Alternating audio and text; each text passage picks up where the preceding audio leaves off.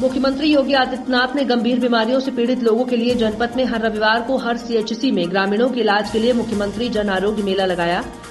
शुजातपुर बमरौली गाँव में दूसरे सप्ताह 9 फरवरी रविवार अतिरिक्त प्राथमिक स्वास्थ्य केंद्र में रविवार को जन आरोग्य मेला कार्यक्रम आयोजित किया गया।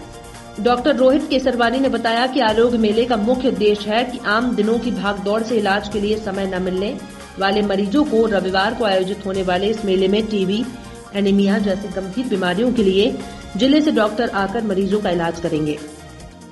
इस मौके पर doctor Pushpendra Verma, doctor Om Prakash Singh, pharmacist ANM Kiran Lata Srivastava ANM Pooja Saroj CHO Jyoti Chaudhary ANM Karishma ANM और सिराथू एसडीएम राजेश कुमार श्रीवास्तव बमरौली स्वास्थ्य केंद्र में पहुंचकर हाल जाना और क्षेत्र की आशा गीता देवी, रेखा, सरिता और साजिया बेगम उपस्थित रहे। डॉक्टर साहब, ये बताएँ, आज दूसरा सप्ताह है। ये मुख्यमंत्री आरोग्य मेला कैंप लगा, इसका क्या उद्देश्य है?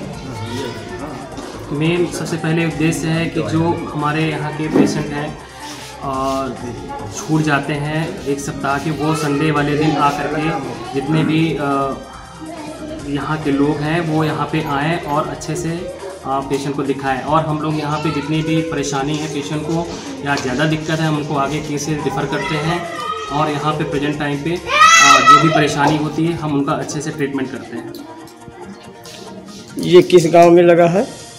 ये सुजातपुर में सुजातपुर में लगाया गया है ये सुजातपुर पीएससी में। आपका शुभ नाम? डॉक्टर रोहित केसरवानी।